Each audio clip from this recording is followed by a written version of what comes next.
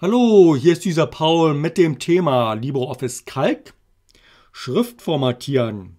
Um die Schriftart für eine Zelle oder Zellgruppe zu ändern, wählen Sie die betreffenden Zellen aus, klicken auf das kleine Dreieck rechts neben der Auswahlbox Schriftname und wählen die gewünschte Schriftart aus.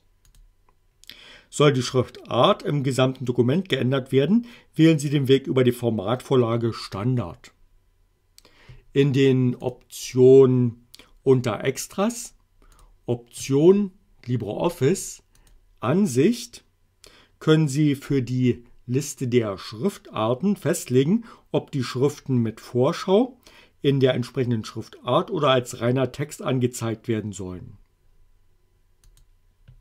Um die Schriftgröße festzulegen, wählen Sie die entsprechenden Zellen aus, klicken auf den kleinen Pfeil rechts neben der Schriftgrößenauswahl und wählen die gewünschte Schriftgröße.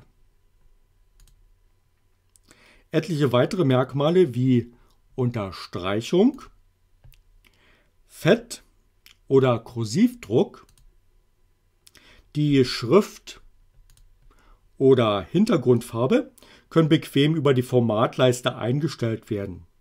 Sie können die verfügbaren Farben selbst unter Extras, Optionen, LibreOffice, Farben einstellen.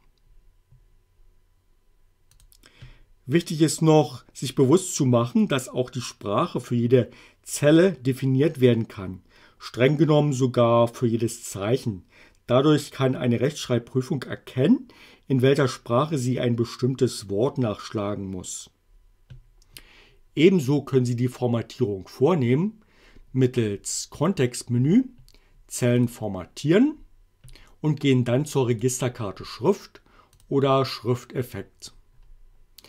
Ebenso können Sie über das Menü Format gehen und wählen hier Zellen aus.